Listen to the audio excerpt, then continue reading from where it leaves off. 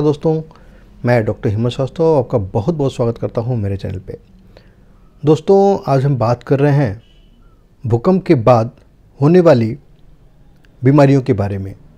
भूकंप के बाद जो लोगों के साथ मानसिक दिक्कतें और मानसिक स्थितियाँ जो होती हैं लोगों की, उन सभी चीज़ों के बारे में आज हम अपने इस चैनल के माध्यम से बात करेंगे। दोस्तों, अगर आप मेरे चैनल पर नए हैं तो मेरे चैनल को सब्सक्राइब करें। जिससे मैं आप तक और भी अच्छी जानकारियाँ लेकर आता रहूँ। दोस्तों, बीते कुछ दिनों से लोग इतना भयभीत हैं, इतना डरे हुए हैं। दिल्ली, एनसीआर, बिहार बॉर्डर, नेपाल और आसपास के हिमालयन बेल्ट के लोग जो हैं, काफ़ी भयभीत हैं, क्योंकि कुछ दिनों से उनको भूकंप के ढेर सारे झटके दिखाई दे रहे हैं, जो कुछ दिन रुक रुक के एक एक करके आ रहे हैं। दोस्तों, निश्चित रूप से यह एक बहुत भयानक स्थिति है और कई लोगों को इस दिक्कत की वजह से इतनी सारी प्रॉब्लम्स हो रही हैं, कई सारी मानसिक व्याधियाँ हो रही हैं, जिसको लेकर लोग बहुत परेशान हैं। दोस्तों, आज मैं अपने इस चैनल के माध्यम से आप तक कुछ ऐसी होम्योपैथिक दवाइयाँ पहुँचाऊँगा। जिनको आप इस भूकंप के झटके के बाद जो मानसिक यात्राएँ हैं, लोगों की जो मानसिक स्थितियाँ हैं, उनसे बचाव के लिए आप ले सकते हैं या ऐसी परिस्थितियों से बचने के लिए ले सकते हैं। तो दोस्तों, चलिए शुरू करते हैं। दोस्तों, जो बीते कुछ दिनों में जो एनसीआर और नेपाल बॉर्डर के सटे लोगों के साथ जो स्थितियाँ पैदा हुई, भूकंप के झटके और लोगों को डर रह के जो डर बना हुआ है, कोई बड़े बड़े बिल्डिंग्स में रहते हैं बड़े बड़े मकानों में रहते हैं, उनको काफ़ी डर बना हुआ है। कई बार लोग भूकंप के झटके महसूस भी कर रहे हैं। कई बार लोगों को लग रहा है कि जैसे शरीर हिल रहा है या मकान हिल रहा है। ऐसी स्थितियों में दोस्तों, कुछ दवाइयाँ हमारी होम्योपैथिक की आती हैं, जिनका इस्तेमाल करके हम इस तरह की परिस्थितियों से ऐसी मानसिक स्थितियों से बच सकते हैं और काफ़ी हद तक इन परिस्थितियों से हमको यह दवाइयाँ राहत भी देंगी। दोस्तों, कई बार लोगों को चक्कर महसूस होता है, घबराहट सा महसूस होता है, बेचैनी सा महसूस होता है और कई कई बार लोग रात में बहुत ज़्यादा चिंता करके सोते नहीं हैं और अचानक से चौंक के उड़ जाते हैं। ऐसी स्थितियों में दोस्तों, हमारी कुछ होम्योपैथिक दवाइयाँ हैं जो आपके लिए बहुत ही मददगार साबित होंगी। पूर्व में जब भूकंप नेपाल में आया था और नेपाल बॉर्डर के पास के जो लोग भयभीत रहे काफ़ी दिन तक, उन लोगों को भी मैंने ये दवाइयाँ दी थी और लोगों को काफ़ी राहत मिला। मैंने बहुत सारे कैंप भी किए जिससे लोगों को काफ़ी राहत मिला और लोग काफ़ी चैन से रहे और ये जो स्थितियाँ, जो लोगों को जो प्रॉब्लम्स होती थी, जो घबराहट होती थी, जो भय लगता था, वो चीज़ें ख़त्म हुई।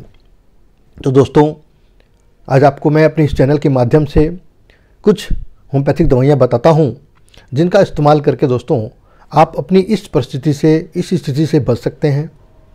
दोस्तों, ऐसे में हमारी एक दवा आती है, एकोनाइट। एकोनाइट जो दवा है दोस्तों, वह जो भूकंप के बाद, जो भय बना है लोगों के अंदर, कि कहीं अचानक से भूकंप आ ना जाए, कहीं अचानक से दिक्कत ना हो जाए, या अचानक से चौक जाते हैं, ऐसी स्थिति में अगर आप एकोनाइट 200 की बूंदें लेंगे तो आपको काफ़ी इस भय से राहत मिलेगा। और जो इस तरह की स्थितियाँ बनी हुई हैं मन के अंदर, वो स्थिति नहीं उत्पन्न होने पाएँगी। साथ में दोस्तों, बहुत से ऐसे दोस्त हैं, बहुत से ऐसे लोग हैं, जिनको अभी भी चक्कर आ रहा है।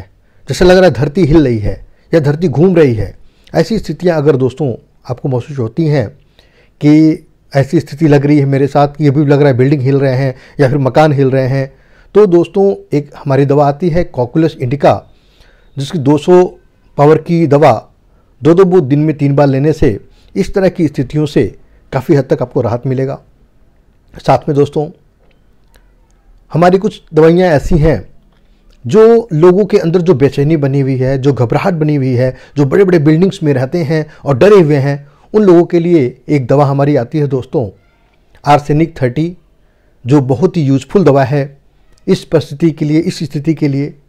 तो दोस्तों आर्सेनिक थर्टी बेचैनी को खूब ज़्यादा जो घबराहट है, उस घबराहट को और ऐसी परिस्थितियों से बचने के लिए काफ़ी लाभकारी है।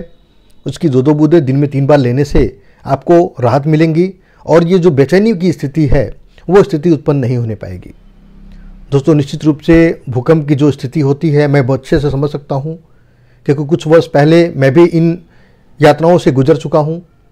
तो दोस्तों, स्थिति बड़ी भयावक होती है इसका भय सालों साल रहता है, लोगों के अंदर डर बनी रहती है। लोगों को लगता है कि हाँ बिल्डिंग्स हिल रही हैं अभी भी, या शरीर की जो बैलेंसिंग है वो गड़बड़ हो जाती है।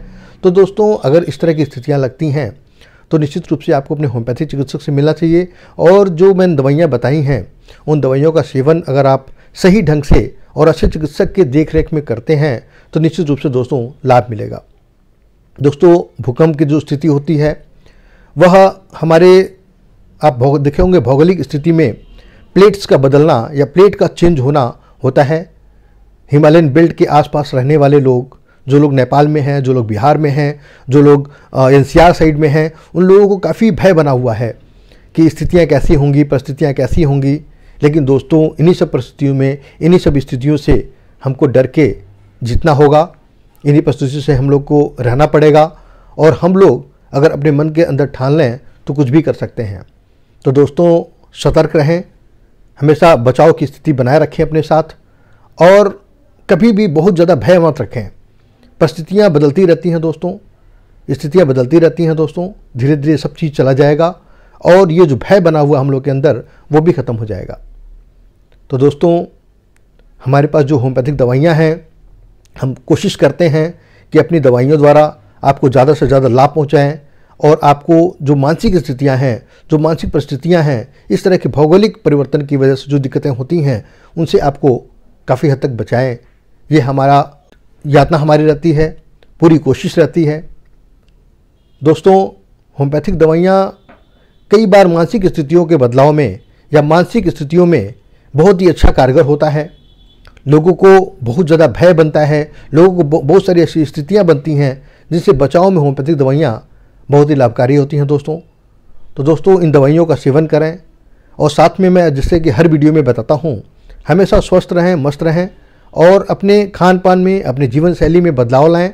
अगर आप ये सब चीज़ें करते हैं तो आप कभी बीमार नहीं पड़ेंगे और हमारा ध्येय है कि आप सभी को स्वस्थ रखना, आप सभी तक अपनी बातों को रखना कि आप हमेशा स्वस्थ रहें। आपको कभी भी इस तरह की कभी कोई दिक्कतें ना होने पावें और ईश्वर करे, आप हमेशा ऐसे ही मुस्कुराते रहें। तो दोस्तों, इसी के साथ मैं अपनी बातों को विराम देता हूँ और फिर मैं कोशिश करूँगा कि और भी सारी जानकारियाँ आप तक लेके आऊँ। बहुत बहुत धन्यवाद। नमस्कार।